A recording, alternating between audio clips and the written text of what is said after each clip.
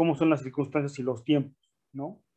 Hay que tomar en cuenta que hace muchos años, no, no tanto, unos cinco o seis, se planteaba que teníamos tubo digestivo alto y bajo, ¿no? Y eventualmente en el inter del intermedio, o el, tubo digestivo medio, eh, no se tenía como que ese planteamiento, ¿no? Porque casi siempre en el, no sé, mayor, mayor, mayor frecuencia, prevalencia de los casos, siempre o era arriba, el estómago, o era abajo, cola, ¿no? Y eventualmente quedaban patologías intermedias como Crohn, úlceras, cuestiones de AINES crónicos o cuestiones muy inespecíficas en tubo digestivo medio, ¿no? Pacientes cardiópatas o renales, angiopatía, ¿no? Y eventualmente ha habido alternativas ahí de tratamiento para el tubo digestivo medio. Pero a partir de entonces, desde hace ya unos seis años, se ha tomado la impartición de dividido superior, medio e inferior. O bajo. Superior, medio, bajo. Superior, como bien les comentó la doctora Zamorano, y tenganlo en cuenta por cuestiones anatómicas, es el ángulo de Tietz, ¿no? El ángulo de Tietz es unos ligamentos ahí a nivel abdominal, que lo que hacen es fijar el duodeno hacia el retroperidoneo. Porque acuérdense que, y retomamos la clase de anatomía, hay una porción de duodeno que queda retroperitoneo. ¿Estamos de acuerdo? ¿Sí recuerdan su clase de anatomía o no? Si no vayan y reclamen a su maestro, porque eventualmente esa es la cuestión que nos tenemos que aprender. Posteriormente, sabiendo que tenemos ese ángulo de Petz, esa división a nivel de duodeno, de ahí se imparte el tubo digestivo medio.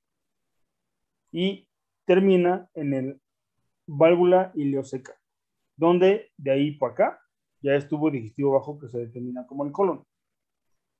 Eventualmente la colonoscopía, pues podemos hacer un poquito de entero, enteroscopía y de forma retrograda subir por el ilion terminal y podemos llegar hasta a veces 30, 40 centímetros, pero eventualmente no, no adecuado.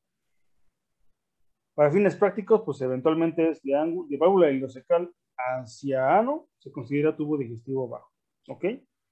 El tubo digestivo medio, pues planteamos que sea la cuestión de ángulo de 3 hasta la válvula ileocecal. ¿Ok? Entonces es esa cuestión de hacer alguna situación de anatomía. Es muy importante esa cuestión. Ahora, aquí es muy importante tener en cuenta lo que sería la situación de los signos clínicos, ¿no? Y vamos a invitar a, eh, está el doctor Gómez, Kevin ahí, abierto su micrófono. Vamos a aprovechar que tiene abierto su micrófono. A ver, doctor Kevin Gómez, ¿cuál sería la clínica del tubo digestivo bajo?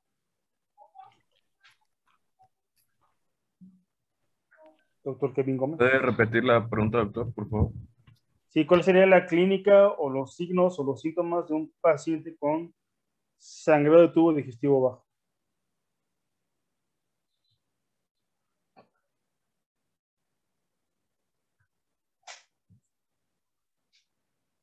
Doctor Kevin Gómez. Sí, bueno, este, el paciente puede presentar hematoquesia, Ajá. melanemesis, Melanemesis, ¿eso cómo se define? ¿O o encuentras? este, melena, melena. Melena. Mm, ok, pudiera ser, ajá. ¿Qué más? ¿Nada más? No, pues debido al, al sangrado también puede presentar síntomas relacionados con la anemia, como ¿como cuáles? debilidad, Ajá. este, inclusive anemia, ¿De cuánto? este, hemoglobina menor a 10. Ok, ¿qué más?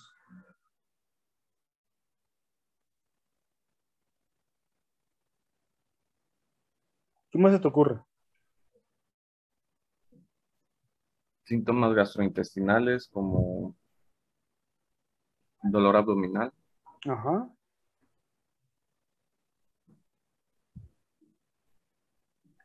Oiga, doctor, ¿puedo hacer una pregunta? ¿Qué pasó? ¿Cuál es la diferencia entre hematoquexia y rectorragia? Hematoquesia se, con... se, se caracteriza por ser evacuaciones con sangre o sangre fresca, ¿no? O evacuaciones mezcladas con sangre. Puede entrar ahí el término también disentería o estas cuestiones, ¿no? Pues es materia fecal siempre con sangre. O sea, hematoquesia es tener evacuaciones con sangre y sangre fresca eventualmente. Como bien comentaba su, su compañero, el doctor Gómez, eventualmente pues va a haber pacientes que pueden presentar también 15% melenas que vengan del tubo digestivo a nivel del sitio de colon ascendente y también está descrito, ¿no? Y voy a decir el caso donde el paciente se le da una panendoscopía, sale blanca la panendoscopía y eventualmente sigue persistiendo la melena. Entonces, eventualmente en el protocolo, y recordando cuando vimos al principio, el siguiente paso es una colonos en este tipo de pacientes. Y de acuerdo a ello, pues se plantea que ahí encontremos la lesión.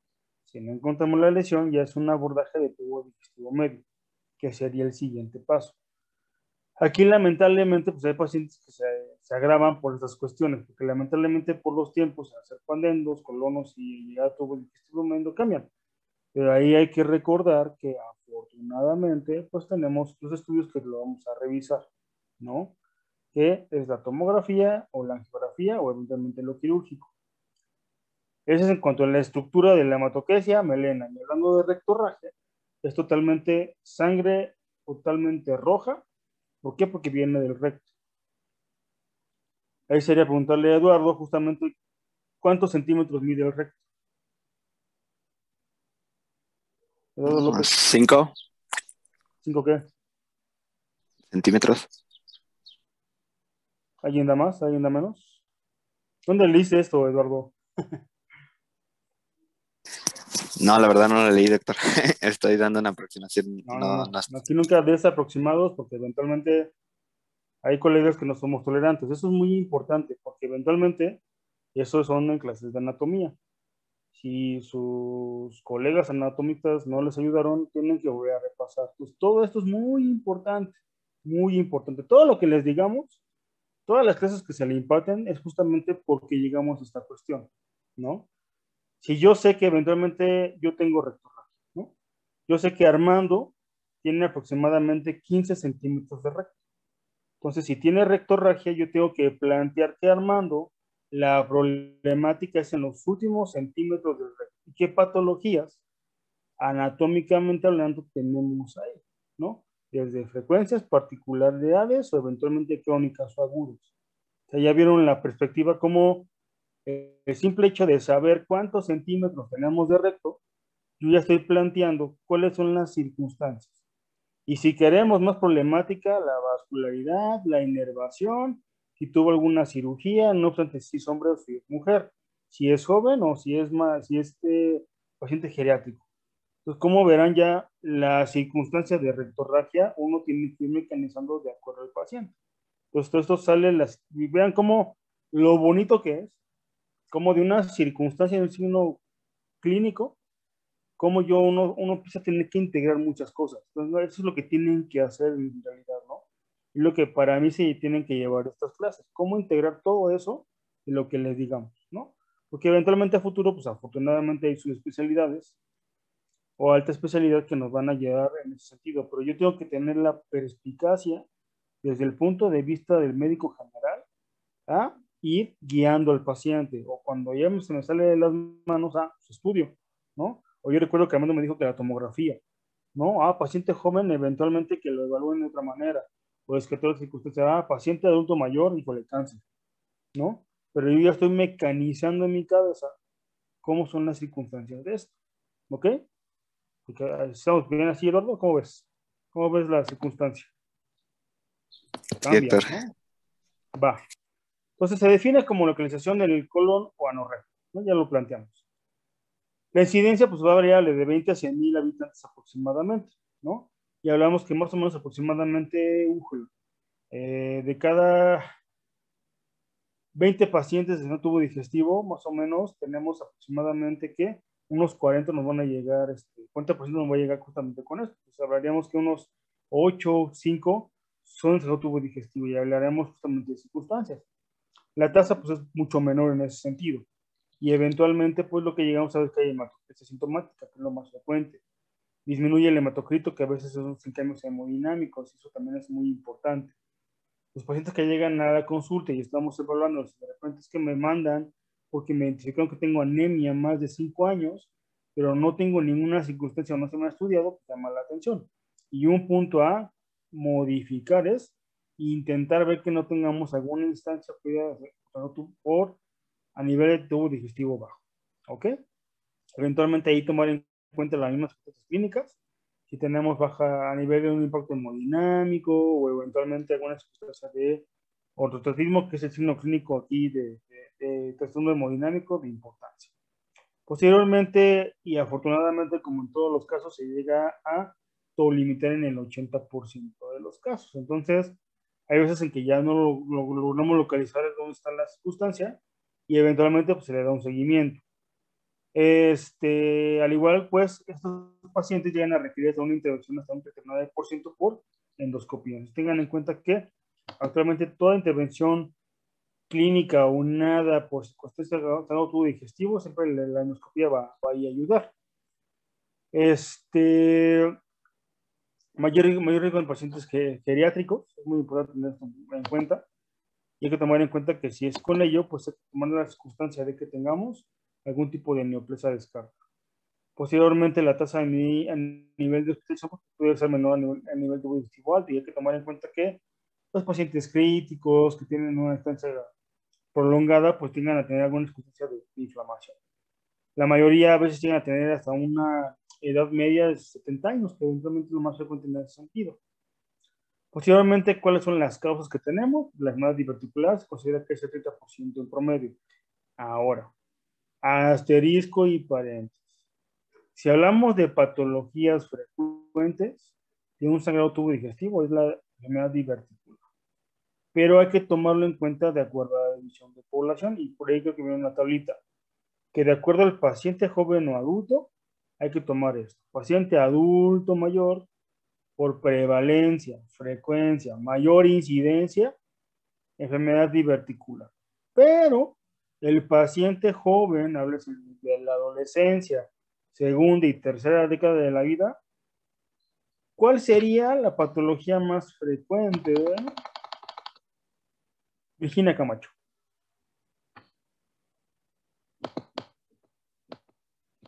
Virginia Camacho. Mm, sí, doctor. Em, pues los pólipos. Mm, no. Carla Castillo.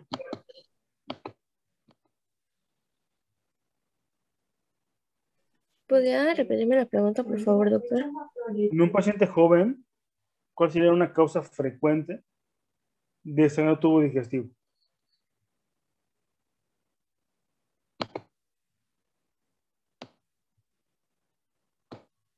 Doctor, ¿puedo ayudarle? ¿Qué pasó, Fernando? Eh, bueno, yo tengo entendido, si no mal recuerdo, es por em, ay, se, em, hemorra, em, ah, ah, hemorroides, hemorroides, Oh, ajá. Excelente. Así es. Yo hay que tomar en cuenta. ¿Quién es el doctor del puntito? eh?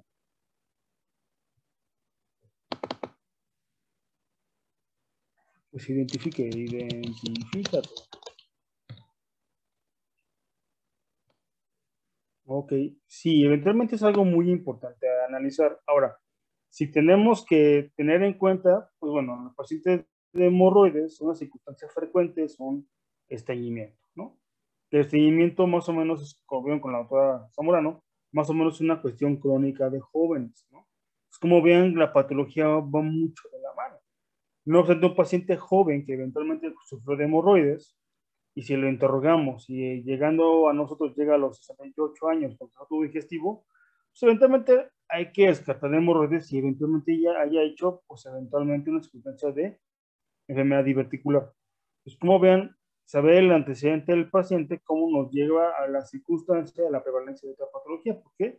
Porque va de la mano. Entonces tengan en cuenta justamente, justamente eso, ¿no? Ok, muy bien, ahí, ahí muy bien todos. Para que tengan justamente en cuenta esto, ¿no? Digo, más que nada, porque no va a llegar el paciente joven a, a diverticular sangrado, porque no me lo dijo. No. Y aquí hay que tener en cuenta estas circunstancias y eventualmente las características. Posteriormente, los pólipos, tumores, procesos inflamatorios de colon y patología, pues ya están en el 20% de los casos. Y hay cierta, justamente cierta variabilidad. La tasa de mortalidad por hemorragia clónica de 3.9. Entonces, eventualmente, pues llegan a tener estas complicaciones y el paciente pues llega a tener a, a, complicarse hasta fallece. Y eventualmente, pues el origen es totalmente por definición. Aquí tenemos una tablita que viene en el Messenger y nos plantea justamente que del 30-33% justamente es esta cuestión, ¿no? El diverticular. Posteriormente sigue lo que sería politis y cánceres, eventualmente una colitis inflamatoria, enfermedad ahí, eh, ulcerosa, la colitis isquémica también, uh, crónico o CUSI, eh, no infecciosas, y evidentemente se van disminuyendo. Y acá les puse justamente en un corrito diferente, pues de que 20% llegan a ser las hemorroides. Tengan en cuenta que tienen esta circunstancia a, a analizar, ¿no? ¿Ok? Posteriormente, este, tienen en cuenta esa circunstancia y posteriormente vean cómo va bajando la incidencia. Y desconocida hasta un 16%. En esta imagen que también nos comporta ahí justamente el Messenger, este, tenemos en cuenta lo que nos planteamos en cuanto a frecuencias. Y aquí tenemos en cuenta que el 75% se llega a considerar de colon. El 17% llega a venir del destino alto o eventualmente medio. Posteriormente delgado, 5%, y fuentes no localizadas en el 3%. Actualmente a partir del siglo XX, digo, ya no tenemos algún pretexto pues, para determinar alguna cuestión. ¿Por qué? Ya tenemos muchas herramientas que nos pueden analizar. tengan en cuenta que el sangrado digestivo por per es en colon. Posteriormente alto 17, intestino medio 5 y fuente no localizada 3%. ¿Ok? Muy bien. Eh, pues tenemos una puntuación de predicción y hay que tomar en cuenta estas circunstancias, ¿no? ¿Qué factores tiene este, esta puntuación de predicción? Y tengan en cuenta que ya la mayoría de las patologías tienen una cuestión ahí, pues, este, que tienen sus, sus sus, sus pronósticos. Aquí eventualmente, pues, plantea justamente frecuencia, el riesgo de sangrado, necesidad de cirugía, mortalidad, día de hospitalización y número promedio de unidades de transfundir, que también es muy importante, ¿no? Como bien planteaba este, su compañero Kevin, pues este, tengan en cuenta que todo paciente con una circunstancia de sangrado y anemia, hay que ir planteando algunas circunstancias de que paquete. No obstante, pues tenemos aquí que quiero que generan puntos. Un punto, pues se usa o no que tenga aspirina, que tenga más de dos comorbilidades, háblese de cualquier circunstancia crónica. Frecuencia cardíaca por arriba de 100 latidos, sin rigidez abdominal o irritabilidad abdominal. Sangrado rectal en las primeras cuatro horas de evaluación que presente 5, porque eso es muy importante, y que tenga una presión sistólica menor a 115. Tengan en cuenta justamente esa circunstancia. Que se considera como severo? Que tenga una hemorragia continua en las primeras 24 horas o un día sangrando durante la hospitalización y que haya requerido más de dos este, paquetes globulares, con una caída del 20% del hematocrito y o recurrente después de 24 horas de estabilidad hemodinámica. Caída agregada de 20% del hematocrito o reingreso o nuevamente a una semana de regreso. Tengan en cuenta justamente estas circunstancias que son muy importantes. Y vean cómo el tiempo y el hematocrito tienen esa relevancia en ese sentido. ¿Ok? Si vamos sumando de acuerdo a eso, pues llega justamente a tener más de 4, pues el digo de sangrado severo es 39%. ¿Ok? y la mortalidad de lo que planteábamos, el 3%, se nos está yendo casi al 10%. Entonces, vean cómo se llega hasta duplicar la mortalidad y la severidad. ¿Ok? ¿Esto quedó claro? Doctor, disculpe, es que, bueno, no sé, a mí no me quedó muy claro cómo es que se o sea, cómo se puntúa o es que no sé, como que no entiendo muy bien la tabla. Ok, Isa. Aquí te plantea puntos, ¿no? De cero Cero puntos tiene un estándar. O sea, tiene cero puntos, no hay ninguna exclusión porque tenemos el antecedente. Cuando empieza de 1 a 3, incrementa el porcentaje. Yo, Armando, ¿sabes qué, doctora Isabel? Este, yo tomo aspirina, soy diabético hipertenso y tengo, este, no sé, cirugía venal, tengo lumbalgia, ¿no? Pues ya por ende, pues es un paciente que tiene cuestiones de este, metabólicas, este, vasculares y eventualmente cuestiones este, automusculares, ¿no? Y a lo mejor también Armando, pues, no, aparte de la aspirina, pues hay, hay que tomar en cuenta que tiene polifarmacia. Usted llega, me revisa y me dice, ¿sabes qué? Yo llevo, doctora Isabel, llevo desde la madrugada, y siendo que me esté volando 8 de la mañana, llevo 5 evacuaciones tipo rectorraje. Ah, no, pues ya. Armando le sumo que toma aspirina, ¿no? Le sumo eventualmente que está que tiene comorbilidades. Y no obstante, tiene una agudización de hace 4 horas, ya tiene 3 puntos. ¿Estamos de acuerdo? Me evalúa usted, ¿no? Y usted me encuentra que tengo frecuencia de 102, dolor abdominal, un poco de irritabilidad, y no obstante me encuentra hipotenso. Ya le sumo 3 puntos más. Entonces ya lo cataloga como eventualmente 4 puntos. Y usted me da esa, esa, ese porcentaje. ¿Sí? Sí, doctor, ya queda un poco más claro. Gracias. No, no que quede más poco claro, que quede clarísimo. O sea, lo que voy es que justamente es eso, ¿no? O sea, es sumarle puntos de acuerdo al paciente. Y el severo, pues tengan en cuenta que es tiempo de 24 horas y que el hematocrito ya ha caído 20%, ¿no? O sea, usted me toma eventualmente igual, este, durante, me da seguimiento en piso y sigo yo con evacuación. Y no obstante, la, la VH de control nocturna, usted me la toma en la mañana cuando me vino urgencias, tenía yo 42, ¿no? Estaba yo este, eh, más o menos deshidratado y hemoconcentrado.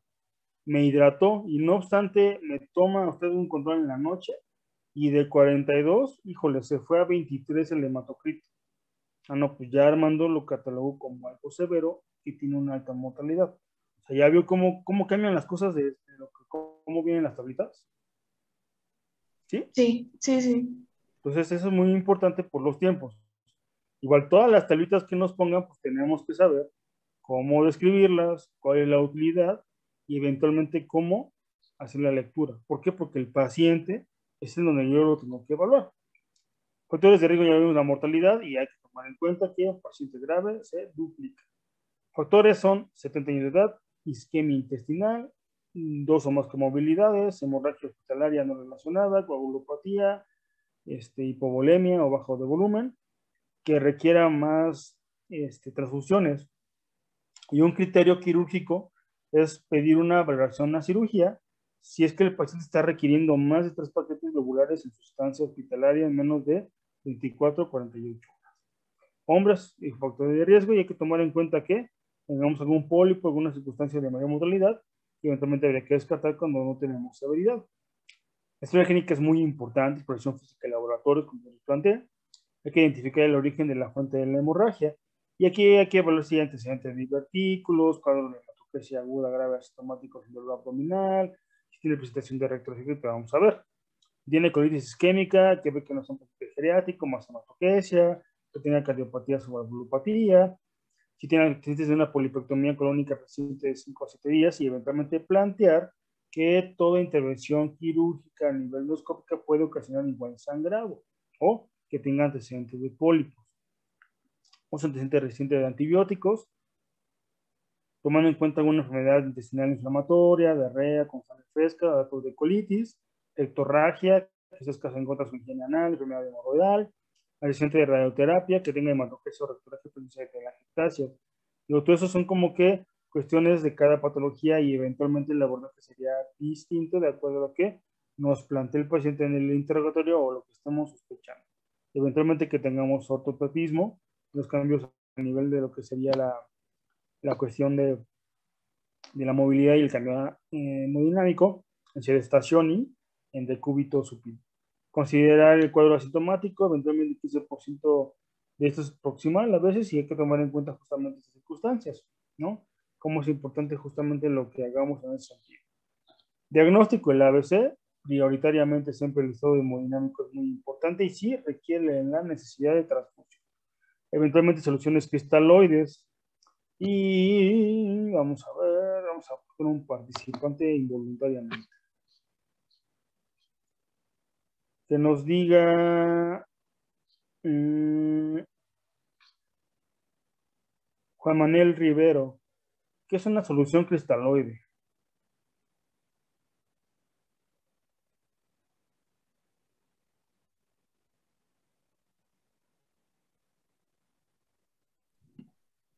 Buenos días, doctor. Este, pues es una solución que contiene pues agua, electrolitos y así. ¿Que un biosfero oral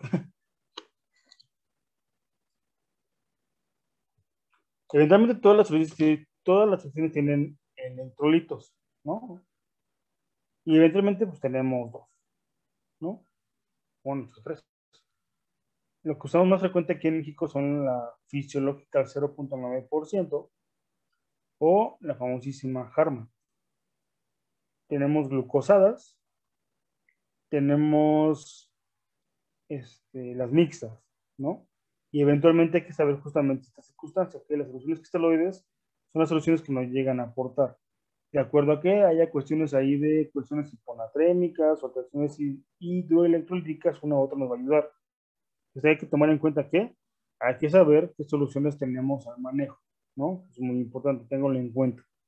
Pero bueno, sí, tienen electrolitos, tienen sus vasos, sus bases ahí a nivel o isoosmolar, que es lo más importante, y por eso es fisiológica. Entonces tengan en cuenta esas circunstancias y muy importante que de tarea tienen que conocer las soluciones porque el futuro es, doctor, ¿qué solución le va a beneficiar más a su paciente? Y depende de esas constantes, ¿no?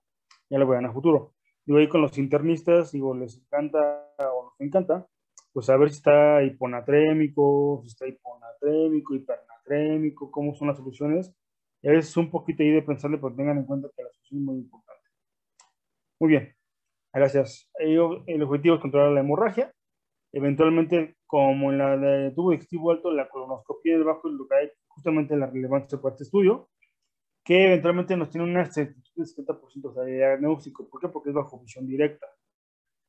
Eventualmente, si la colonoscopía no nos llega a discernir esta circunstancia, pues hay que hacer enteroscopía, anoscopía, cápsula endoscópica, que de la rentabilidad del 70% llegamos a un 95%. ¿Por qué? Porque ya estamos revisando totalmente lo que sería el 80% del tubo digestivo. Entonces, al tener una mayor revisión, pues llegamos a un diagnóstico exacto del 95%.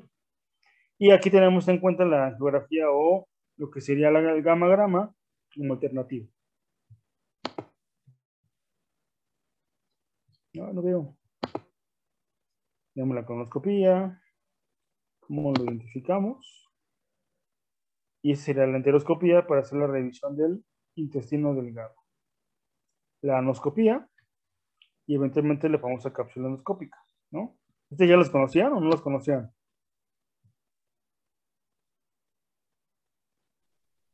Yo no, doctor. ¿Nos conocían? Bueno. No lo conozco. Sí. Bueno, aquí tenemos la imagen de la colonoscopía y aquí tenemos una enteroscopía. La enteroscopía, este, a diferencia de la colonos, la colonos llegamos hasta el colon y podemos manipular esas circunstancias. Digo, tiene su técnica de recortes para poder uno anclarse al colon. Hay que tomar en cuenta que tanto el colon como lo que sería el intestino delgado, hay puntos donde no están fijos en el abdomen, están flotando en el líquido abdominal. No obstante, la enteroscopía requiere unos globitos, ¿por qué? Porque al insuflarse se anclan y al anclarse permiten que la saque de fijo. Entonces uno va avanzando, avanza el segundo globito, lo insufla y eventualmente se ayuda a qué? Y ir avanzando hasta y recolectando todo el colon.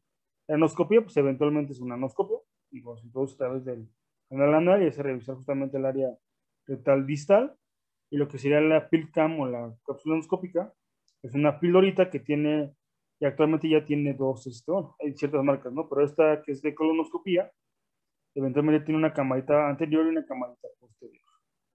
La endoscopía puede ser útil justamente en pacientes con sospecha de hemorroidal, problemas rectales, fisuras, apoctitis, y eventualmente pues se recomienda que en 50 días se pueda hacer un estudio completo de colonoscopia preferentemente mejor. La simuloscopía flexible pues puede ser para evaluar recto y obviamente si mueves como lo comentamos, ¿no? Y eventualmente pues aquí la limpieza solamente sería a nivel de enemas rectales, ya que no se reversiría más. Eventualmente ahorita la cuestión es que si vamos a preparar un paciente para un estudio de colonoscopia, que se prepare completamente y no se incompleto. Posteriormente el diagnóstico se encuentra en 9% cuando se de forma intermitente y posteriormente puede haber una ulceración solitaria, por radiación, hemorragias por polipectomía o eventualmente hemorroides internas. Esa sería como que la exploración de cómo se debe hacer el análisis de anorrecto. Eventualmente todas las cirugías anorrectales que hacen los proctólogos hacen en esta posición y es la mejor posición para hacer revisión. Eventualmente, pues digo, no todos tenemos una buena mesa de exploración y a veces como no no hay ningún problema. Posteriormente hacemos la introducción del anoscopio, hacemos la revisión y aquí justamente lo que vemos es el canal este, anal a nivel de lo que serían los paquetes hemorroidales, que son justamente estos. La colonoscopía pues, permite hacer justamente la revisión un poquito más extensa y aquí tenemos una revisión colonoscópica. Vamos metiéndonos. ¿Sí ven el video? Sí, doctor. Sí, doctor. Muy bien. Lo que estamos haciendo es ingresar justamente a la área correcta.